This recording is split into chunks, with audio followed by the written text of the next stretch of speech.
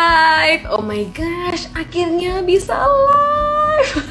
Aku udah siap air minum menggunakan botol yang reusable supaya lebih cocok dengan temanya minimalism. Cila, ya ampun Ori. Promosi aja. Lancar nih, ini lancar. Oke, sekarang kita nungguin untuk request live dari KSV. Halo KSV. Halo. Lancar? Lancar belum ya? Mudah-mudahan sekarang lancar ya sampai akhir ya.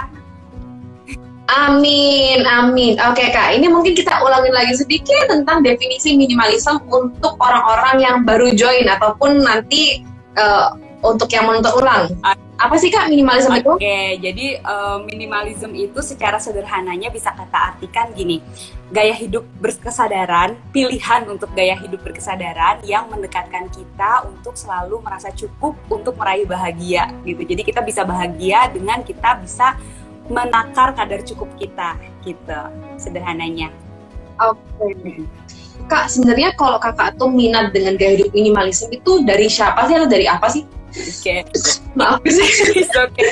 Ini agak uh, sedikit panjang ya, mungkin aku jelasin. Jadi aku tuh dulu mungkin bisa dibilang uh, pekerja keras gitu ya. Uh, dari mulai kuliah tuh udah kerja gitu. Dari mulai kuliah aku udah sampingan ke sana kemari kerja terus gitu kerjaannya ya.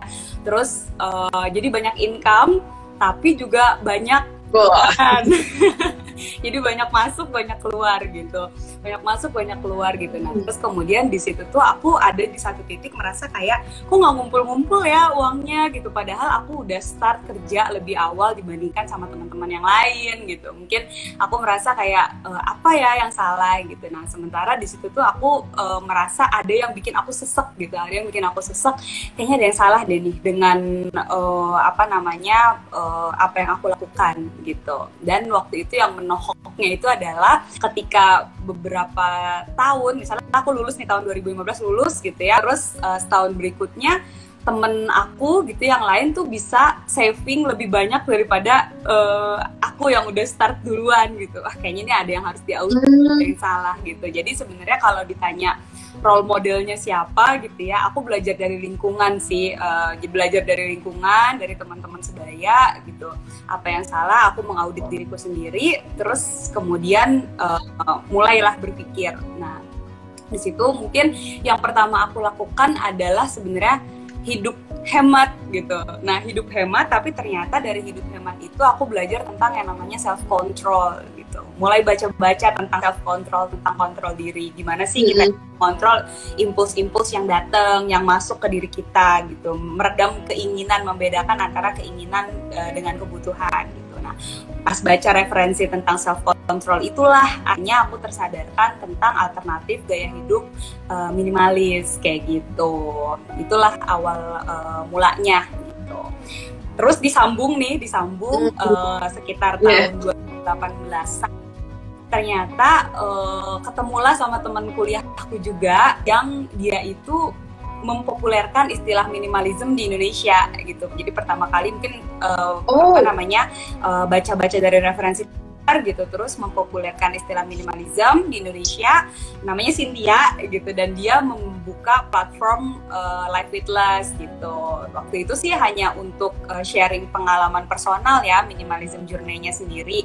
Tapi lama-lama uh, kontennya berkembang berkembang berkembang kan? Terus akhirnya aku ikut join di sana merasa ada di satu uh, pengalaman yang sama gitu ya. Mungkin kalau Cynthia lebih ke quarter life crisis kalau aku uh, lebih ke masalah finansial ya waktu itu. Baik pemasukan lebih mm -hmm. sama pengeluaran gitu ya nggak saving saving ya udah deh akhirnya uh, kita belajar minimalism bareng-bareng grow sampai uh, sekarang ya. Banyak banget teman-teman yang bantu untuk kembangin konten-konten uh, tentang minimalism. Gitu Oke, okay. tapi misalnya kayak gitu ya kak ya, um, kita ngomong bahwa hidup itu bisa jadi lebih apa ya, lebih cepat puas karena kita juga bisa kontrol diri. Tapi tadi juga ada yang bilang um, kalau temennya kakak yang kak Cynthia itu dia tuh mulai minimalisme karena quarter life crisis. Berarti banyak tipe nggak sih? Bisa dibilang banyak tipe dari minimalisme gitu, bener ya kak?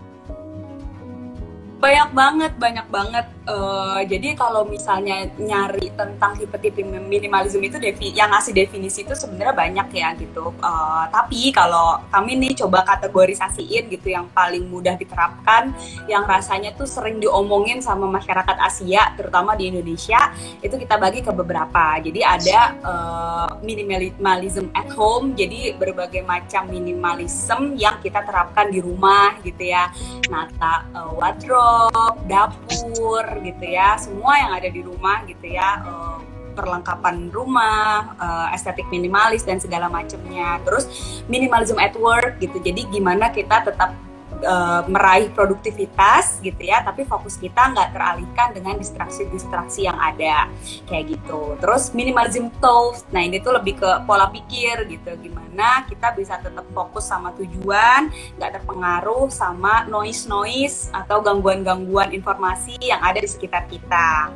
Terus juga kita uh, bisa kategoriin ke minimalism fashion ya, jadi uh, belajar tentang gimana caranya untuk meredam terjadinya fast fashion fashion atau uh, fashion yang serba cepat gitu ya dengan lebih ke sustainable fashion gitu.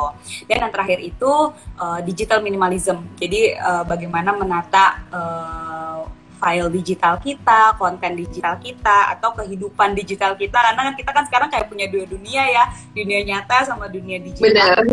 Kita nerapin minimalism itu di dunia digital gitu, di diri kita yang ada di dunia digital. Gitu sih. Kalau tipe-tipe yang lainnya, wow.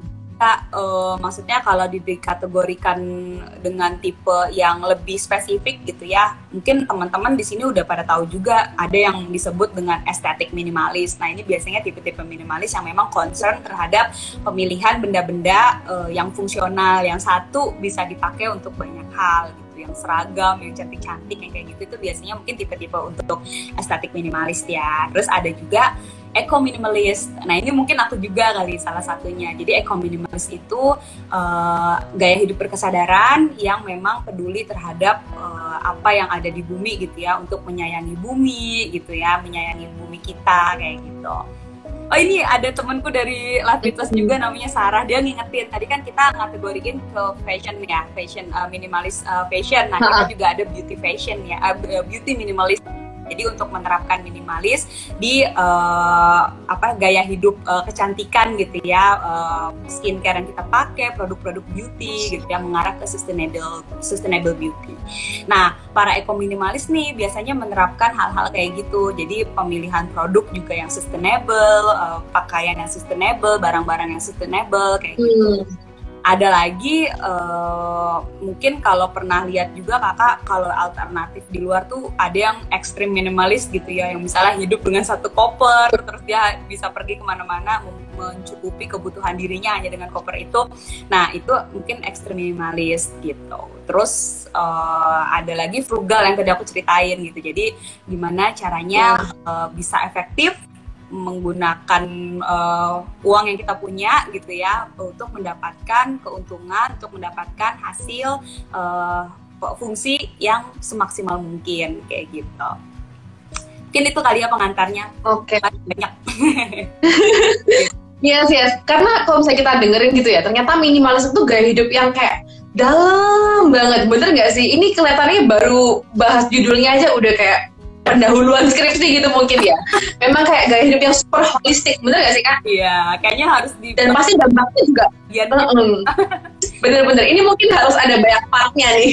Tapi kalau saya dari KSP sendiri nih, karena kita ngomong bahwa dampaknya itu universal. Kalau saya KSP sendiri, dampak yang paling kerasa di hidup KSP once jadi orang yang minimalis itu apa sih kak? Oke, okay ini menarik banget ya yang pembelajaran besar yang aku rasakan gitu ya setelah menerapkan minimalis mungkin 2017 sampai sekarang kan berarti kan empat tahun ya gitu. Nah aku tuh merasa uh, hidup lebih konten lebih bermakna gitu ya. Jadi bukan lagi pertanyaannya itu uh, gue mau apa ya ke depan gitu mau bikin apa lagi ya gitu gue mau jadi apa gitu kan. Itu kan biasanya pertanyaan yang sering muncul uh, kerjain ini kerjain itu terus gue mau jadi apa ya gitu. Tapi lebih ke uh, isinya gitu ke maknanya. Lebih ke apa ya yang bisa lagi gue lakukan gitu. Apakah ini udah di jalan yang benar dan udah berdampak belum buat orang lain gitu. Jadi kita udah nggak dipusingin lagi dengan gue akan jadi apa gitu. Tapi gimana kita bisa ngambil peran yang besar di uh, profesi ataupun peran-peran yang kita jalanin baik di komunitas di pekerjaan atau apa pun itu gitu. Udah bermakna atau belum? Gitu. kalau di aku sih kayak gitu ya. Oke. Okay.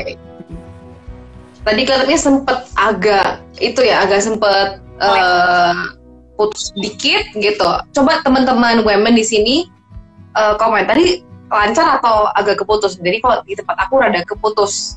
Okay. Sedikit gitu. Mungkin diulang dikit. Lancar kan ya? Okay. Jadi boleh boleh. Yang bagian paling terakhir itu kan?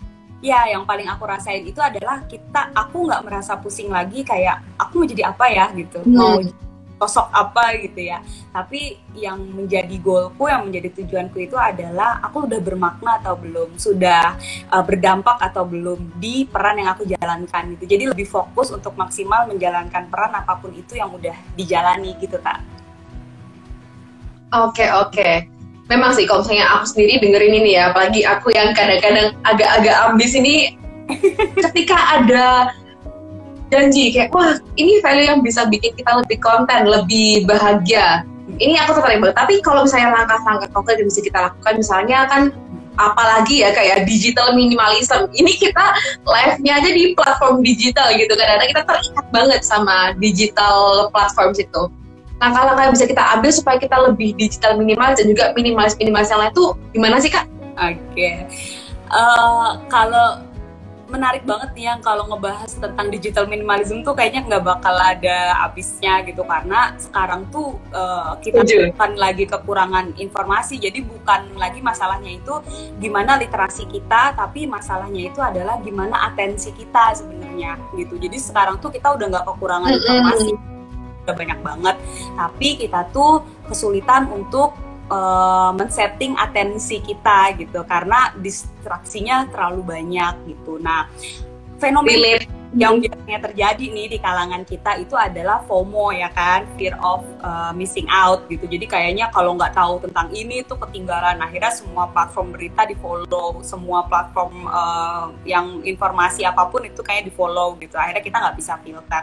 Nah, uh, Levitas tuh waktu itu pernah uh, ngeluarin uh, istilah dari kontributor kita juga namanya JOMO gitu. Jadi joy of missing out. Jadi sebenarnya nggak apa-apa loh kita uh, ketinggalan informasi atau ketinggalan sesuatu yang sebenarnya tuh mungkin kita nggak butuhkan gitu. Jadi yang pertama kali perlu dilakukan itu adalah sebenarnya uh, mengurangi uh, mencari gitu ya value kita tuh mau ke mana sih value kamu misalnya pengen kenal tentang diri gitu tentang self uh, the self gitu ya. Ya berarti kita cukup follow hal-hal yang berkaitan dengan the self supaya kita bisa growing maksimal di situ. Terus misalnya value kita mm-hmm. tentang mungkin uh, financial uh, apa namanya mindfulness gitu ya. Jadi kita merasa ingin merasa cukup secara finansial ya. Berarti yang di follow ya cukup kayak gitu aja. Jadi bukan semua hal uh, perlu kita follow kayak gitu. Jadi rasanya lebih fokus ngelihatnya tuh ke depan gitu lurus nggak belok ke kanan belok ke kiri gampang terdistraksi gitu ya kak mungkin step awalnya sama Iya sih, memang kalau misalnya nge-follow yang terbatas memang nanti lebih jomo, lebih banyak joy of missing out. Tapi kak, kalau misalnya kita sekarang geser lagi nih ya, tadi kan ngomongin tentang digital yang setiap hari kita panteng ini. Tapi kalau minimalism at work, apalagi di sini pasti banyak banget anggota tribe dari women generasi yang udah kerja. Ya. Gimana sih caranya supaya bisa kayak gitu? ini juga perjalanan uh, yang luar biasa ya buat aku ya nerapin uh, minimalism at work karena dulu ya uh, yang bener-bener workaholic yang kerjanya itu dari pagi sampai malam gitu ya bahkan pernah sampai pagi lagi gitu nggak tidur dan segala macam gitu. Uh iya, jam wow. ya waktu masih penuh energi dan gitu ya.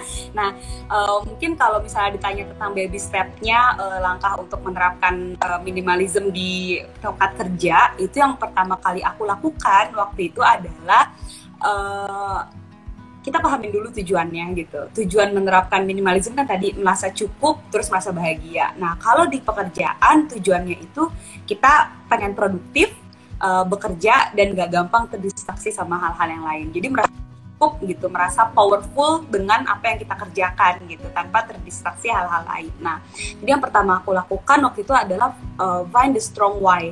Jadi apa sih uh, yang bikin aku merasa nggak nyaman, terbebani atau melekat banget dalam diriku gitu. Jadi waktu itu nyari ap hmm. apakah misalnya uh, ketika kerja tuh terganggu banget sama space kerja working desk yang berantakan gitu misalnya ya kayak file di mana-mana gitu meja di mana-mana uh, meja tuh penuh dengan barang gitu apakah misalnya problemnya itu pusing milih baju tiap berangkat gitu karena uh, harus ke sana kemari dalam satu hari gitu apakah uh, mm-hmm. list yang nggak realistis yang akhirnya tuh kita stres sendiri aduh hari ini dari 10 cuma 7 cuma 5 gitu misalnya tercapai 5 lagi enggak mm-hmm. apakah kewalahan dengan file-file digital atau apa jadi find the reasonnya dulu uh, apa yang menyebabkan aku harus belajar nih gitu nah setelah itu ketemu uh, di situ kita mulai uh, declutter dengan kemelekatan kita gitu kalau aku misal contohnya uh, masalahnya itu clutter desk desk yang uh, tempat kerja yang banyak banget barangnya gitu karena dulu tuh aku uh, banyak event habis event barang lagi, habis event barang lagi gitu kan ya banyak gitu. Nah, iya iya iya. Akhirnya di situ aku belajar tentang uh, seni decluttering, gimana caranya memilah uh, apa namanya barang-barang dengan rapi gitu. Terus setelah decluttering dikemanain nih gitu. Terus ada tekniknya kan kayak misalnya kalau kita ngelepas barang tuh uh, gimana caranya supaya kita nggak uh, attach sama barang itu. Jadi banyak baca tentang uh, decluttering gitu. Terus kalau misalnya masalahnya itu uh, tentang pusing milih baju gitu ya baju kayak aduh pusing banget nih gitu. Nah kita bisa belajar mungkin tentang capsule wardrobe gitu. Jadi kayak uh, membuat beberapa baju uh, setelan-setelan gitu ya mix and match beberapa baju yang bisa digunakan dalam berbagai kesempatan kayak gitu. Nah itu juga cukup panjang tuh sampai akhirnya aku menemukan style yang pas gitu kayak misalnya nyiapin uh, kerudung ini warnanya ini ini ini gitu terus kemudian hmm. warna ini ini ini ini celananya ini ini ini ini udah jadi nanti tinggal di mix and match dan itu mengurangi waktu kita untuk uh, bersiap-siap kayak gitu.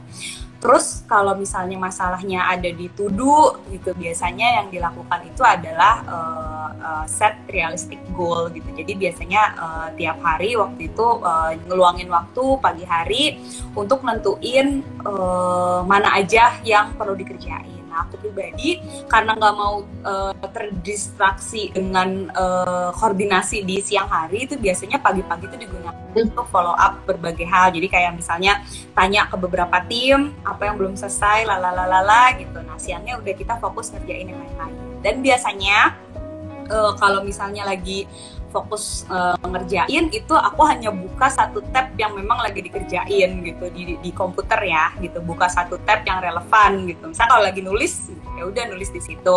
Handphone uh-huh. aja ditaruh dulu di samping. Nggak biasanya kan kita uh, sambil buka sebelahnya uh, live streaming ya kan? Sebelahnya lagi uh, lagu sebelahnya lagi apa gitu. Jadi kalau biasanya tuh aku terpanggil langsung. Gitu karena itu distraksi banyak kan biasanya. Emang sih jadi lebih cepat ya. Oh ya lupa ini. Nah itu biasanya yang bikin kita gampang terdistraksi itu adalah pas lagi ngerjain tiba-tiba kepala kita tuh paling pinter emang berlalang melanglang buana ke mana-mana gitu. Lagi ngerjain ini oh iya gue belum nanya ini oh iya gue belum nanya ini gitu. Padahal kalau kita nggak mikirin itu kita bisa selesai satu hal lebih cepat dibandingkan kalau kita pindah-pindah gitu. Nah switch tasking pun itu bahaya gitu karena ternyata uh, itu bisa uh, merusak otak kita gitu. Jadi uh, ketika terlalu cepat berpindah dari satu pekerjaan ke pekerjaan lain gitu, uh, itu bisa bikin uh, karena kita nggak bisa multitasking kan sebenarnya gitu. Jadi lebih tak tak tak tak cepat pusing sendiri nanti kita gitu. gitu. Kak, kak, kak. Ini ada yang bilang warga multitask tersindir tapi juga tersadarkan karena katanya multitasking itu bisa merusak otak itu boleh elaborate on that nggak kak? Karena aku termasuk salah satu iya. yang sangat sangat melakukan itu. Uh, Saya concern nih. Uh, uh, uh, uh.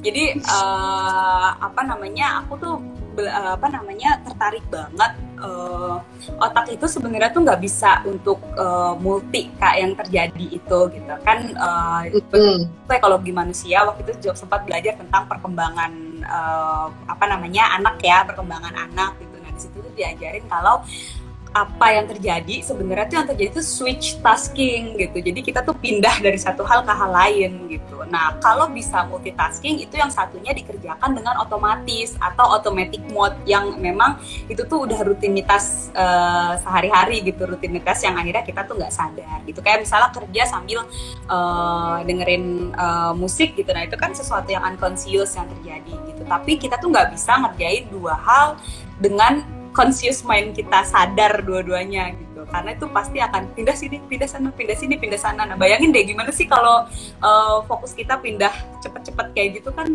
akan terjadi. Kalau kabel tuh konslet kali ya kak di kepala kayak gitu jalurnya terlalu cepat pindah-pindah. Begitu. Gitu. Oh ya satu lagi. Aku biasanya tuh uh, selalu meluangkan waktu yang berbeda antara bekerja dengan makan gitu. Aku termasuk yang sangat mindful eater jadi kalau lagi makan tuh bener-bener menikmati makanan. Nggak pernah bawa makanan. Kalau cemilan mungkin masih ya ke uh, working desk gitu. Tapi kalau lagi makan uh, ngeluangin waktu untuk pindah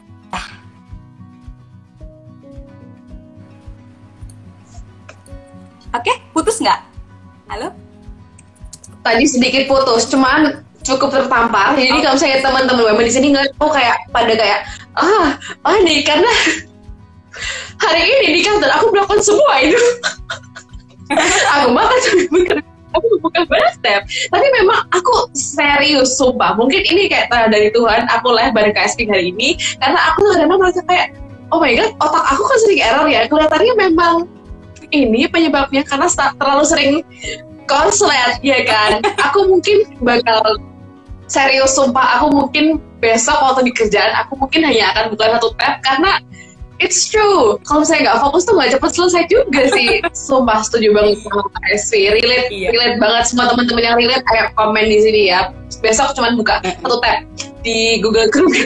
Tertampar satu tampar tamparnya uh, oke oke oke oke bahkan iya sih ya meluangkan waktu untuk makan itu pun susah gitu loh. Tapi kak kalau misalnya di lingkungan kerja kita ya itu pasti sangat challenging ketika yang apa ya yang melakukan minimalisme tuh cuma kakak gitu ya misalnya. Ya tapi teman-teman yang lain tuh apa ya sangat sibuk dengan multitasking masing-masing. Belum nanti di corner kantor sana kita lagu indie, counter lagu sana EDM, terus nanti di sana ada yang joget-joget gitu di kantor atau mungkin kantor aku yang agak rame gitu ya. Tapi challenging banget gak sih dan bagaimana cara overcome-nya kak? Ya, ini seni lagi nih living with non minimalis kita juga uh, dengan aku awalnya juga frustasi, maksudnya uh, frustasi dalam arti, ih kenapa sih orang kok nggak bisa gitu kayak aku gitu. Nah, tapi justru kak, makin kita uh, menerapkan uh, minimalism gitu ya, makin kita menerapkan minimalism itu tuh kita makin bisa memahami uh, cepatnya dunia di sekitar kita sih kak, makin cepat memahami uh, betapa dunia tuh bener-bener kayak cepet di mana-mana dan aku tetap bisa merasa tenang di tengah-tengah kehektikan yang terjadi kayak gitu. Jadi uh, kayak misalnya ya kalau kita kan kalau misalnya ingin merubah sekitar tuh merubah dengan apa yang terjadi dalam diri kita dulu ya kak gitu kan. Jadi ya hmm. kitanya merasa tenang, kitanya merasa tetap uh, fokus gitu ya. Uh, misal contohnya di tengah event deh gitu, tengah event. Terus kalau misalnya kita nggak fokus tujuannya itu misalnya oke okay, event hari ini harus berjalan lancar, pesan dari event ini harus sampai ke publik gitu misalnya ya. Nah kalau kita nggak fokus sama itu terdistraksi sama hal lain, ketika ada problem di tengah-tengah itu biasanya nanti carinya bukan solusi tapi salah-salahan atau misalnya ini gimana sih? Aduh gue pusing gini gini gini. Tapi kalau misalnya kita fokus ke solusi itu kayak tarik nafas bentar oke solusinya apa nih gitu. Jadi langsung kayak dikat uh, amigdala aja uh, otak limbik yang kerjaannya marah-marah atau panik ini tuh langsung ke cut gitu. Kita langsung naik ke atas ke cortex ke otak depan langsung fokus sama solusi apa yang harus kita cari. Biasanya gitu sih. Jadi memang uh, berubahnya dari dalam dulu dari diri kita kita coba rasain enjoynya nikmatnya belajar jadi minimalis uh, nikmatnya merasakan ketenangan dalam kecukupan gitu ya. Nah dari situ biasanya berubah gitu. Terus kayak misalnya aku ah, mau makan dulu gitu. Misalnya uh, ini uh, rame gitu apa deadline banyak banget. Itu gue minta waktu makan 5 menit atau 7 menit gitu misalnya. Udah makan aja kita nikmatin terus selesai makan baru kita pindah lagi. Itu rasanya enak banget sih kak. Bisa ngerasain rasa makanan bisa ngerasain kita habis berapa banyak makanan hari itu dan bersyukur sama makanan yang kita bisa makan hari itu baru kita ngelanjutin aktivitas yang lain. Iya, yeah. tapi pernah nggak sih kak, misalnya um, apa ya, ketika transisi ya dari orang yang workaholic banget sampai kayak bener-bener minimalism ada rutinitas apa sih yang dibuat supaya selalu ingat? Misalnya mungkin bikin notes atau mungkin beberapa temen aku yang ekstrim bikin tato gitu ya. Kayak selalu ingat istirahat gitu. Apa sih yang KSP lakuin supaya ketika struggling itu tetap bisa tetap naik gitu progresif? Oke, okay. waktu itu yang aku laku, aku lakuin kak, uh, coba untuk ibadah tepat waktu, gitu. Jadi uh, ibadah gitu ya, waktu istirahat ibadah itu dilakukan tepat waktu gitu. Karena kan biasanya ini aku inget banget sih masa masa lalu itu ya kayak uh, kalau misalnya uh, kalau di ini kita kan sholat misalnya zuhur jam 12 gitu ya jam 12 sholat asar jam 3 gitu itu kan waktu kita lagi ada di kantor. Biasanya dulu itu suka kelewat ya bukan kelewatnya dalam arti jam 12 jam 2 ah udah jam 2 gitu ah udah jam ini gitu. Nah jadi kita lupa istirahat gitu kita lupa istirahat uh, kita nggak ingat untuk take a rest gitu untuk ngebalikin fokus kita. Mm -hmm. nah, jadi waktu yang aku lakukan pertama kali supaya bisa uh, fokus supaya bisa mindful sama apa yang dikerjakan uh, pas ada azan gitu ya kita uh, langsung coba oke okay, istirahat. Nah itu kan biasanya ada aktivitas wudhu ya kayak ngambil air wudhu, air ke muka gitu, cuci tangan, cuci kaki. Udah itu tuh istirahat uh, eh, 5 menit, 10 menit uh, fokus terus baru balik lagi gitu. Nah itu adalah uh, waktu itu kontrol diriku ya, cara kontrol supaya bisa kembali uh, fokus dengan apa yang dikerjakan dan lebih produktif dengan apa yang dikerjakan kayak gitu. Dan lain-lainnya nanti nyusul tuh kak. Kayak misalnya uh, tentang pakaian. Akhirnya aku mempertimbangkan kayak oh iya pagi ini tuh mau ke sini nanti siang mau ke sana gitu. Uh, ketemu dengan audiens yang beda. Kalau pakai sepatunya ini nanti ribet gitu. Nah akhirnya mulai terbiasa uh, terus kita bikin uh, apa persiapan yang lebih matang di pagi hari atau malam sebelumnya. Biasanya kayak gitu. Oke okay, oke. Okay memang dimulai dari disiplin sih. Ini yang paling challenging. Apalagi kalau misalnya ibadah tepat waktu itu, wah, itu memang disiplin yang luar biasa sih. Tapi nyambung dari disiplin, terus akhirnya kakak bilang juga nyambung ke pilih baju, pilih kru dan lain-lain. Dan tadi sempat juga mention decluttering. Boleh nggak kak share tentang pengalaman decluttering yang mungkin paling berkesan nih? di KSP karena kan ada beberapa orang yang bilang kalau di catering tuh sampai ada yang nangis bener gak sih ya kan ada yang kayak sampai kayak ini kenapa dari aku dulu pertama kali ngumpul gitu misalnya kayak gitu tuh ada gak kak? Ya uh, aku tuh yang di cluttering yang paling uh, berkesan itu waktu baju ya baju sama uh, aksesoris baju sama aksesoris. Jadi hmm. dulu tuh uh, kebetulan kan uh, aku belum berhijab. Belum berhijab gitu.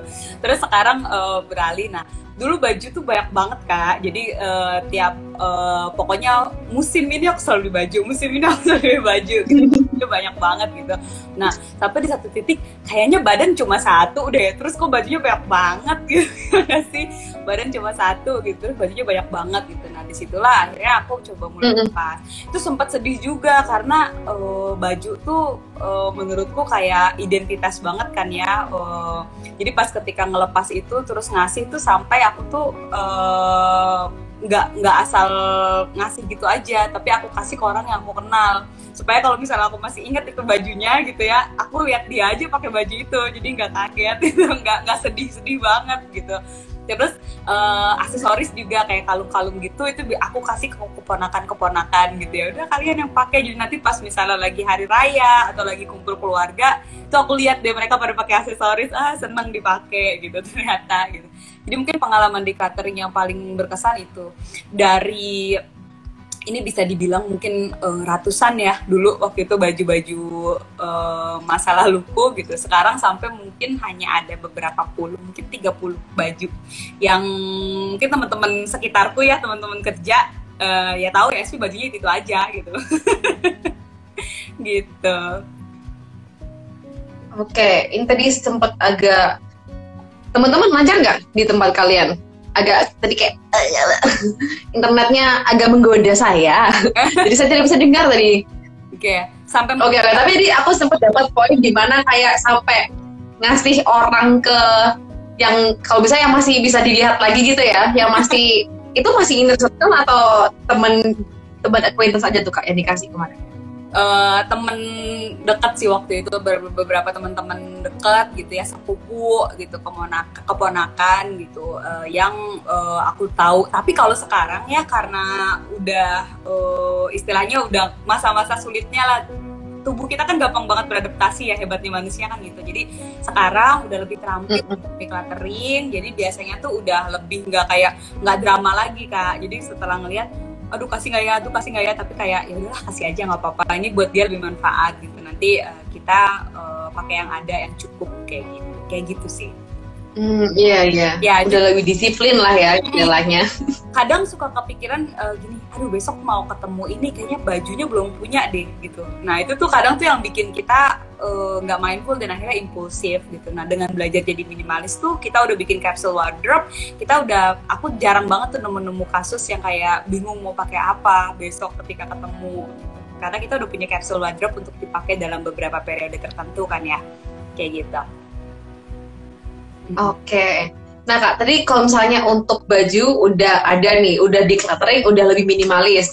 Digital dan juga kerjaan tadi udah diminimalisir dengan nggak ada atau mengurangi, nggak ada atau mengurangi sih kak multitasking? Masih ada dikit-dikit atau Uh, mungkin kita uh, bilangnya mengurangi kali ya. Nanti aku diprotes kalau bilang tidak okay. ada.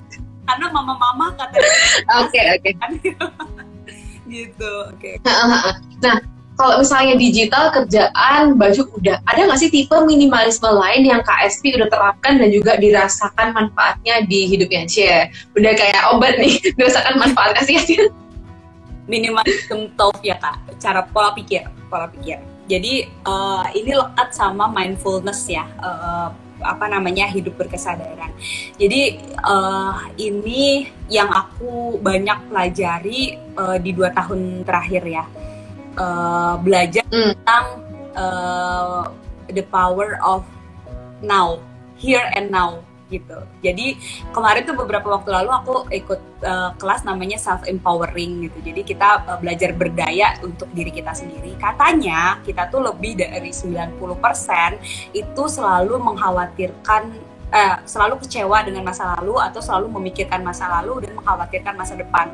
Jadi hanya sekian persen, bahkan katanya cuma dua persen itu kita living in present gitu di masa sekarang gitu. Contohnya kayak misalnya uh, pas lagi uh, ada sekarang nih kita lagi live tiba-tiba kepikiran eh gue belum makan gitu atau misalnya oh iya besok tuh ada meeting ya jam satu gitu atau misalnya ya ampun ini ada deadline itu belum dikerjain gitu. Jadi selalu masalahnya tuh uh, khawatir uh, sedih atau misalnya kecewa dengan apa yang terjadi dengan masa lalu dan kita khawatir dengan apa yang terjadi di masa depan. Sementara dua persennya ini yang sekarang itu nggak bisa kita fokus nggak kita syukuri. Kayak misalnya sekarang aku bisa ngobrol sama Kak Ori terus menyapa teman-teman yang lagi oh. nonton gitu ya. Terus bisa sharing bisa baca pertanyaan pertanyaan-pertanyaan yang menarik ngomongin tentang minimalism. Nah itu kan the power of now gitu. Jadi kita benar-benar menikmati apa yang terjadi saat ini. Ada sinyal gangguan pun ya kita terima gitu kita uh, legowo gitu ya kita terima uh, karena memang kita fokus ke tujuan. Tujuannya apa? Tujuannya malam ini kita mau sharing gitu mau berbagi sama teman-teman gitu. Jadi tidak mudah uh, terdistraksi sama hal-hal lain. Nah ini juga yang akhirnya aku bawa ke eh, hal-hal dalam keseharian gitu. Kayak misalnya pastilah kak kita pasti punya masalah dalam keseharian kita. Punya masalah uh, keluarga masalah sama teman-teman masalah pekerjaan gitu. Tapi kita lupa kalau misalnya itu tuh sebenarnya adalah semua bentuk pembelajaran gitu di dalam hidup yang bikin kita tuh makin grow. Jadi karunia gitu loh karunia Tuhan kita gitu karunia yang kita kasih. Kalau kita gerutu kalau kita bete gitu atau kita punya emosi negatif itu kan artinya kita nggak nerima dengan apa yang sedang terjadi gitu. Berarti kita nggak mm -hmm. apa karunianya kan kayak gitu. Jadi uh, itu yang uh, sangat aku pelajari gitu. Dengan minimalism thought ini oke okay, uh, saya hidup saat ini gitu. saya menikmati apa yang terjadi saat ini. Bukan artinya mengesampingkan kayak tapi kita memperbesar uh, ruang syukur di dada kita gitu. Memperuang memperluas ruang syukur. Jadi rasa-rasa khawatirnya tuh bisa diredam. Kita bisa fokus ke solusi gitu hmm oke okay, oke. Okay. ini memang wholesome banget sih ketika kakak kayak memang harus bener-bener menikmati. Karena satu yang mungkin ini kayak orang tua sering ngomong gitu ya kayak kamu mau khawatir sekarang tapi kalau kerjanya besok terus masa mau kerja sekarang? Ya gak sih? Itu yang milenial tuh suka apa sih namanya overthinking. Ya gak sih? Masih gak bisa mengontrol ekspektasi sendiri. Iya iya iya benar-benar gitu kalau misalnya Kak sendiri, bagaimana sih Kak step-step ketika Kakak itu mau master self control ketika pengen lebih live in the now gitu? Karena kan tadi Kak Eski juga sempat cerita ya, ikut workshop keren-keren banget sih Kak dapat info workshop itu dari mana gitu dan juga step-step apa yang mereka bagikan mungkin yang bisa dibocorin ke teman-teman yang ikut live hari ini nih. Apa sih yang bisa kita lakukan secara konkret supaya makin bisa mengontrol diri dan ekspektasi kita sendiri? Oke, wah ini kalau ngomongin tentang self control panjang nih kak. Coba intinya gini, self control itu adalah perjalanan panjang dari kita uh, mengenal uh, diri kita gitu ya, mengenal jadi uh, di diri kita gitu.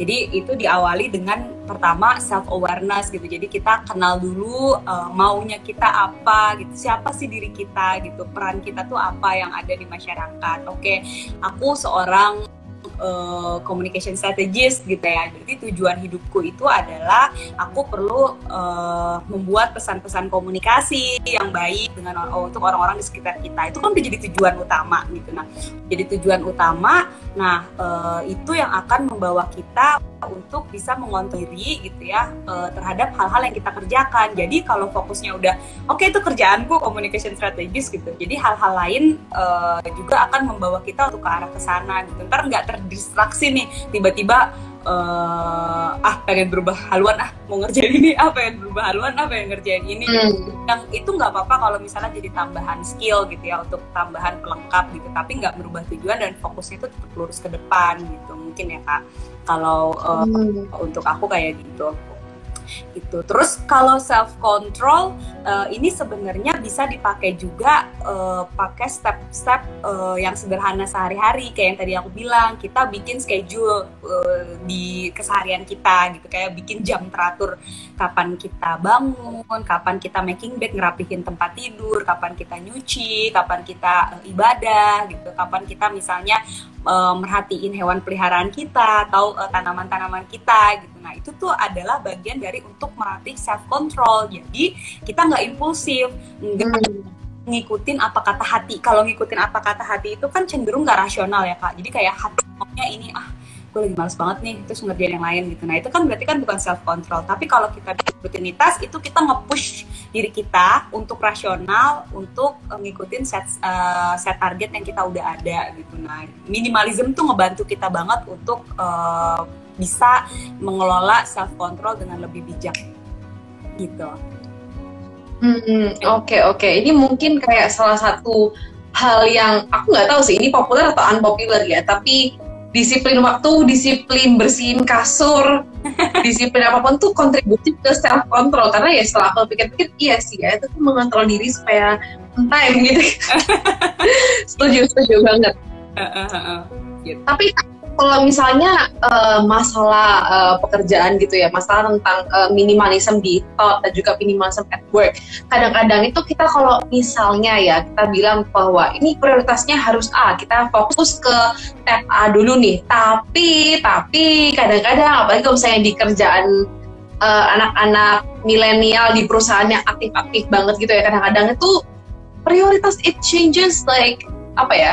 Kayak Minutes. mohon maaf ya bahasanya ya tapi kayak anak labil gitu loh ya kayak gitu ya nggak sih apakah itu hal yang utopis atau realistis sih kak atau pengalaman kakak apalagi communication strategist tuh juga cukup dinamis kan ya yeah. pekerjaannya gimana sih kak akan agar apa ya juga bisa fulfill target fulfill apa ya satisfy our team tapi juga tetap mindful gitu Ya, jadi uh, ini juga uh, menarik ya. Oke, jadi uh, menarik. Aku tuh uh, satu poin dengan menerapkan lima, minimalism di ranah profesional itu bisa membuat kita lebih asertif, uh, lebih terukur, terus lebih ketagihan untuk melakukan uh, kebaikan di pekerjaan kayak gitu. Jadi lebih asertif tuh gimana? Asertif itu kita bisa menyampaikan dengan baik kapan kita mau bilang yes, kapan kita mau bilang no kayak gitu.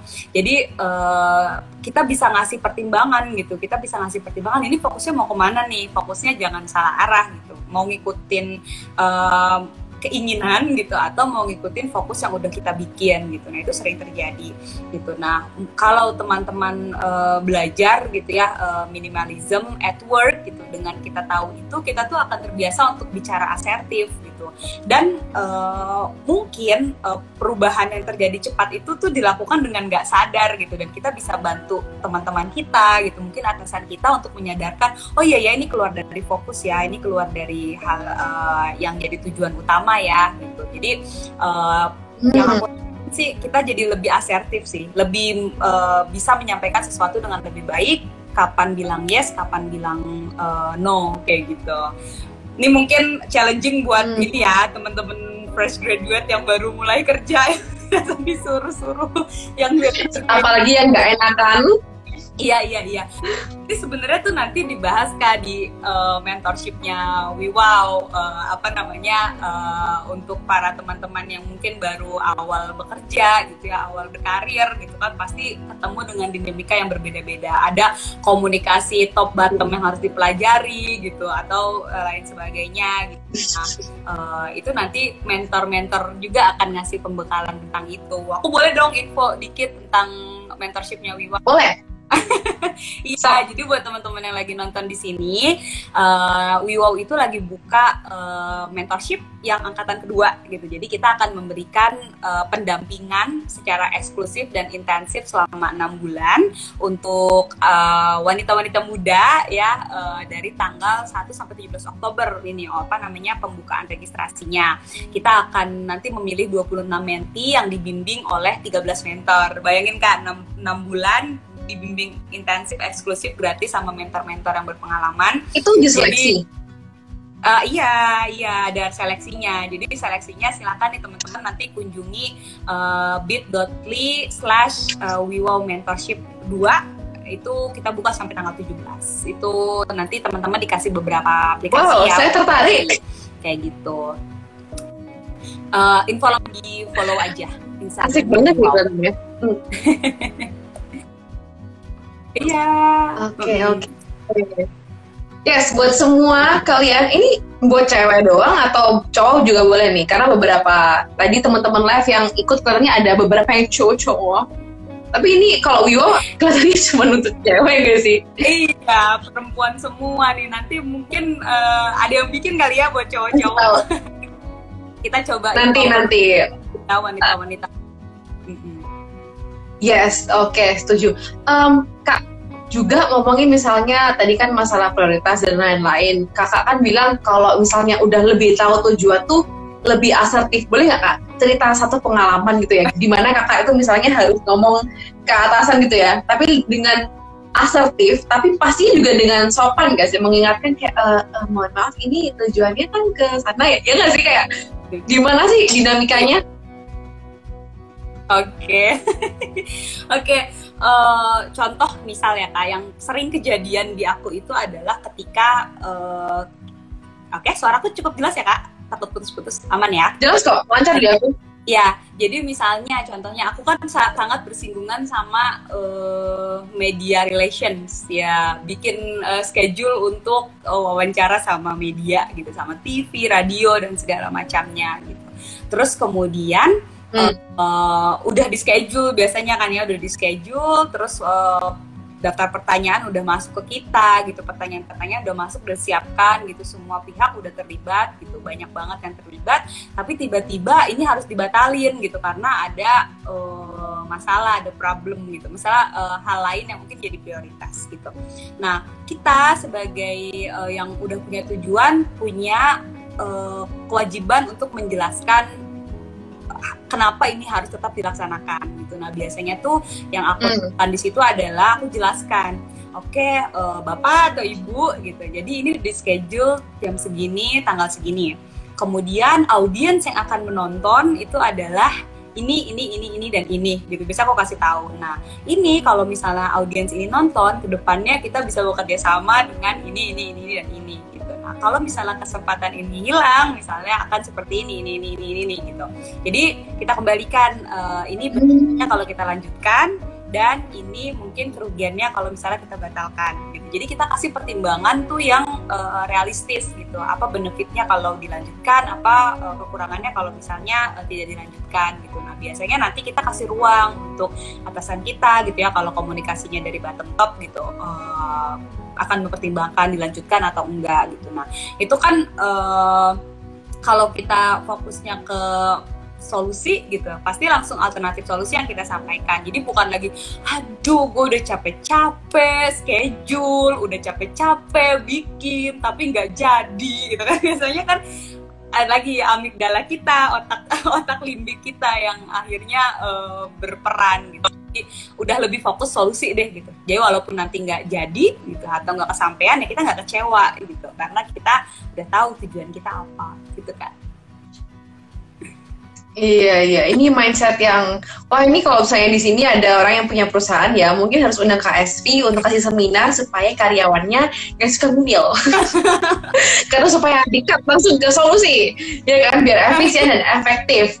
Dan juga ngomongin efisien efektif, ini ada pertanyaan yang bagus banget dari salah satu uh, teman kita di Women yang komen soal prioritas itu kan ada kadang-kadang susah ya untuk define ya mana yang lebih penting dan juga mana yang mungkin less urgent dan lain-lain. Kalau KSP sendiri nih, bagaimana sih how do you define your priorities? Apakah mungkin ada tabelnya dan juga apa ya bagaimana cara menyusun supaya kerjaannya itu paling efisien efektif gitu ya atau mungkin malah kadang-kadang kita bisa consult ke leadernya supaya kalau leader tuh bantu kita untuk range prioritas apa sih kak rumus yang paling mantap untuk prioritas? Oke, okay. oke okay, prinsipnya kalau aku adalah kita itu eh, nggak uh, bisa bekerja sendiri. Pasti kalau misalnya kita bekerja itu selalu hmm. orang lain di sekitar kita.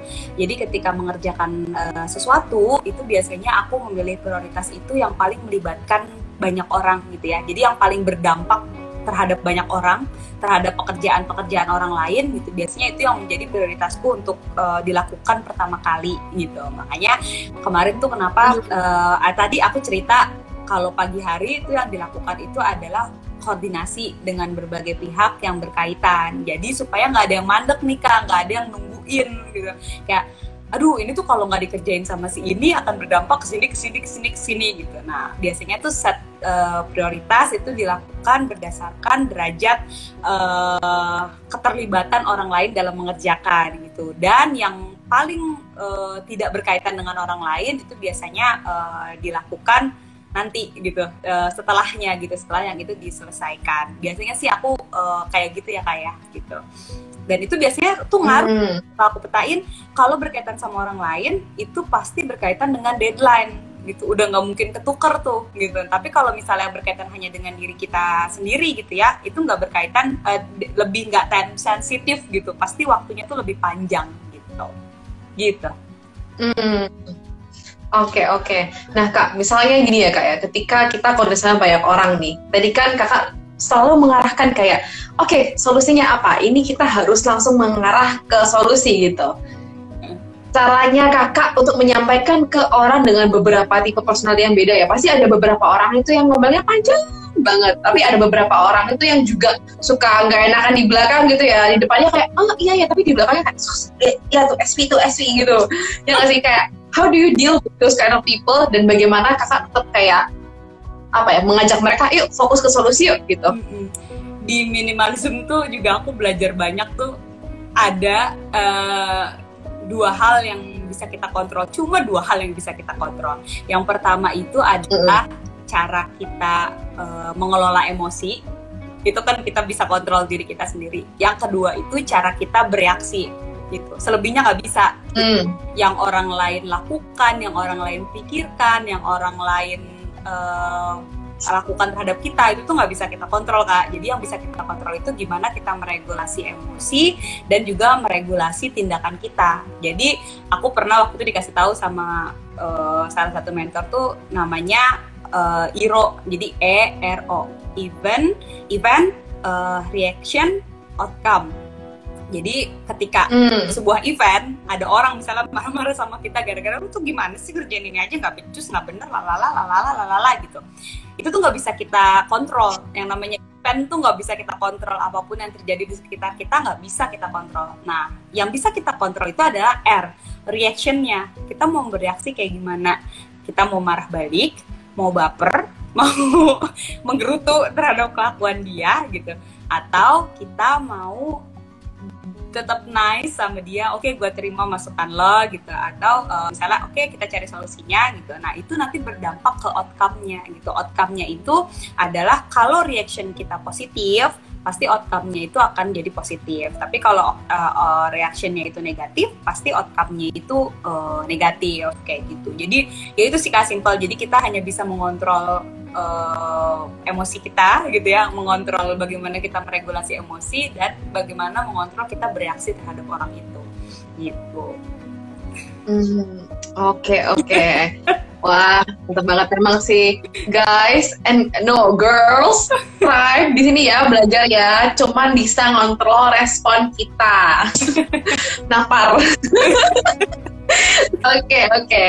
uh, eh, kak ini karena udah nggak kerasa kita hampir satu jam ya kita ngobrol, mungkin kita langsung ke pertanyaan pamungkasnya nih ya. Kalau misalnya dari seorang KSV yang telah menerapkan lifestyle minimalism, essential skill seorang perempuan untuk mau mulai hidup minimalis tuh apa sih kak?